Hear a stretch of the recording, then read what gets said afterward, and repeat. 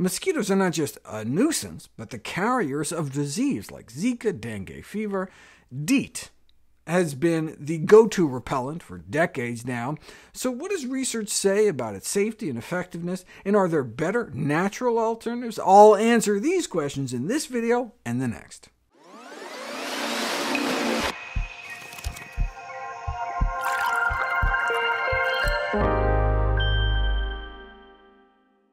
The most dangerous animal in the world isn't the great white, or the king cobra, or lions and tigers and bears. In fact, only about 10 people die in shark attacks every year. Coming in number two is most dangerous, fellow human beings. But the worst? Mosquitoes. Literally billions of people are at risk of contracting dengue fever from mosquitoes, and hundreds of thousands die from mosquito-borne malaria every year. New threats like Zika continue to pose a global public health threat, such that the World Health Organization suggested delaying pregnancy in Zika-affected areas around the world. What's the best mosquito repellent to wear? There are products like permethrin, a product originally derived from chrysanthemums, interestingly, that can be applied to clothes. But what about repellents you actually put on your skin? DEET is the repellent to beat, considered the gold standard of protection when it's crucial not to get bitten. It was developed back in the 1940s for use by the military.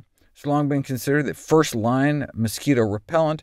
Effectiveness-wise, 20 to 50% DEET repellents provide up to several hours of protection. That's rubbed on the skin, though.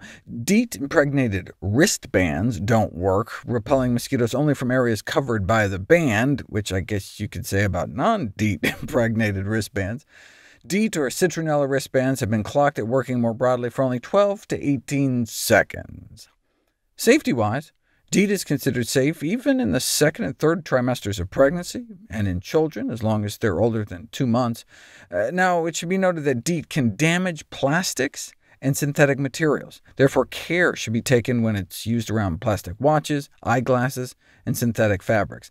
Uh, nylon is OK, but it's been found to damage spandex, rayon, acetate, and pigmented leather, in addition to plastic and vinyl. DEET is absorbed through your skin into your bloodstream, but it's cleared from your system within a few hours. Does it have any adverse effects? Uh, DEET is probably far less toxic than many people believe. DEET has a remarkable safety profile after now more than a half-century of use and billions of applications. Fewer than 50 cases of serious toxic effects have been documented in the medical literature since 1960, and most of them resolved. Most reported cases of adverse or lethal events involved overuse or incorrect use of the product. Incorrect use as in chugging it to commit suicide. What's a correct usage? Read and follow all directions on the product label. Only apply to intact, non-irritated skin.